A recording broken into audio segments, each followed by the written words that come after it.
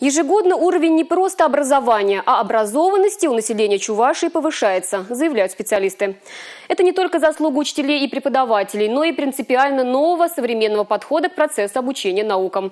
И тем не менее, система нуждается в постоянной модернизации и доработках. Уже завтра обсудит вопрос, как дать путевку в жизнь каждому ребенку.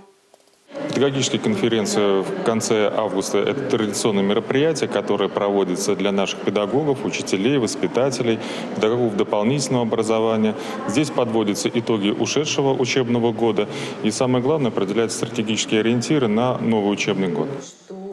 Целый год педагоги придумывали новые стратегии повышения качества образования в своем районе и готовы поделиться полученным опытом с коллегами. Сегодня всего лишь репетиция. Основные мероприятия в пятницу, 13 августа. Все должно быть на высшем уровне.